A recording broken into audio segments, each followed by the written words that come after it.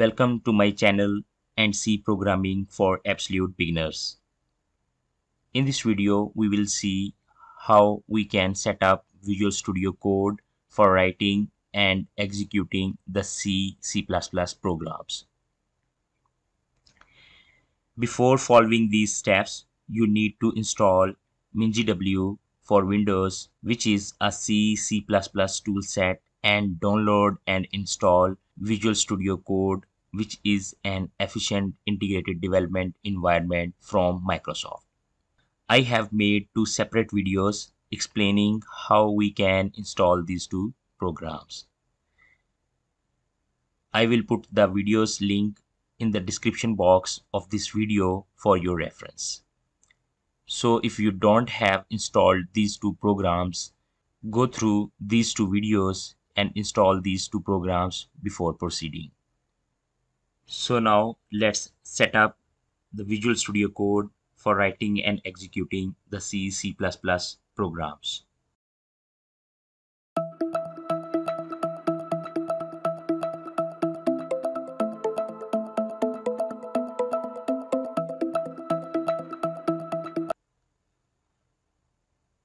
open the Visual Studio Code.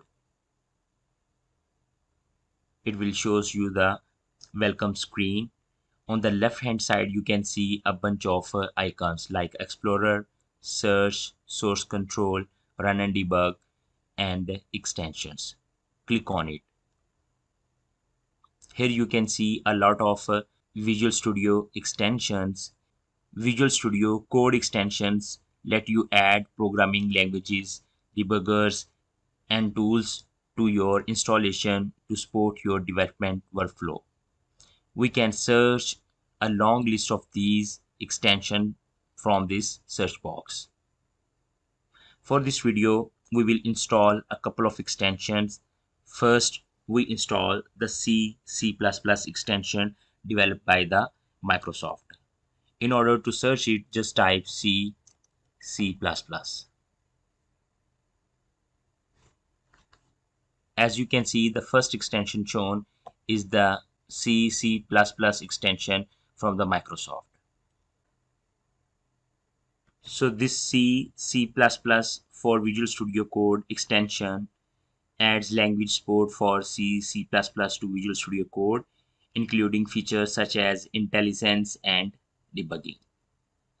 In order to install it, hit install. so you can see this extension is being downloaded.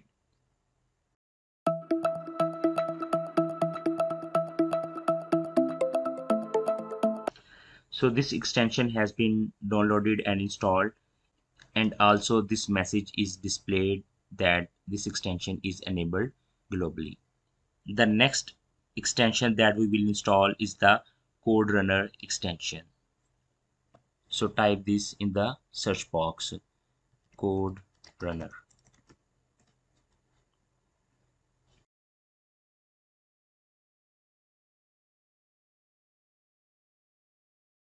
yes this code runner extension runs the code snippet or code file for multiple languages uh, including C, C++.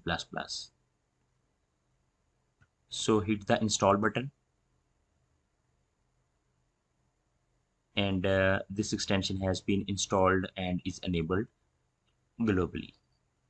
In order to use these two extensions, we need to restart the Visual Studio Code. For that, let's close it. Again, start it by double clicking on the shortcut.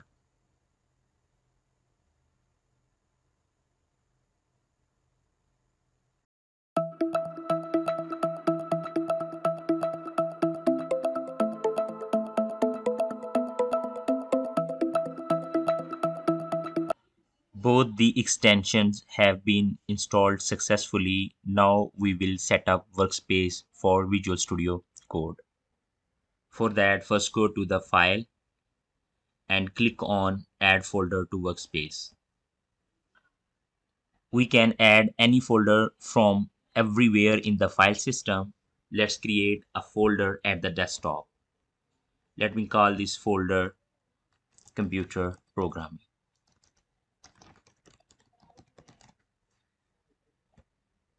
select this folder hit add.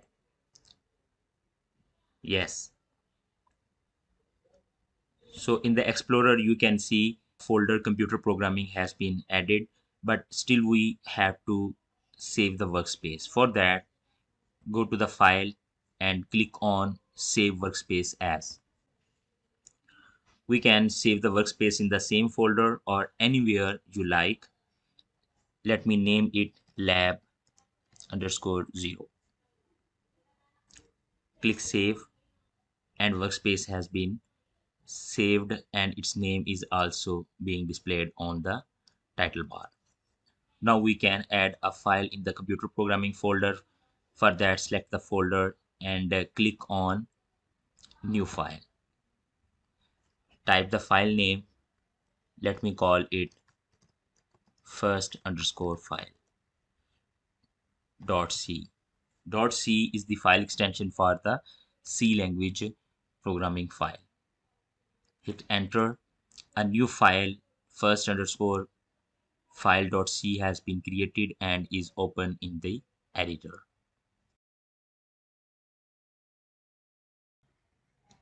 For demonstration purpose, I have written a simple program that will print hello world on screen.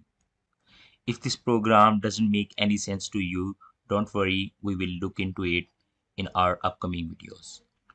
We can execute this program by clicking on run code icon or just right click and select run code. You can see the hello world is being printed out in the output tab. There is a problem with this output tab as it can only display the output of a program, but it cannot provide the user input to the program that is commonly required in many C language programs. Now let's consider this program.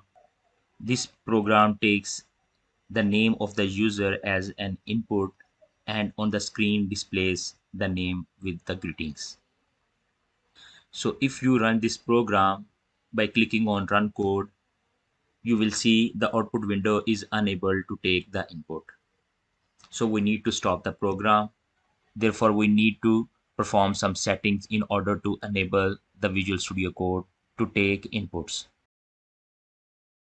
So go to the file on in the preferences select the settings in the settings uh, we need to go to the extensions and in the extension you can select run code configuration. In the run code configuration scroll down a little bit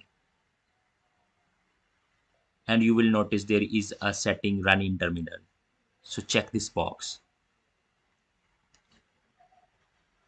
On file save save the setting and uh, so now if we run the program, you will notice the program is running in the terminal and the program is asking you to enter your name.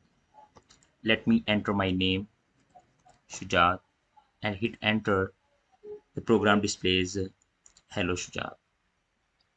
In this way, we can provide input and take output from the program by displaying the program's output in the terminal tab so that's all for this video in this video we saw how we can configure the visual studio code for writing and executing the c c++ program.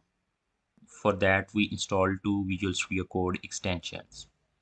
We also saw how we can set up the visual studio code workspace and how we can create folder and files and run the code effectively in the terminal tab Hope it was helpful. Thank you for watching. See you next time. Bye.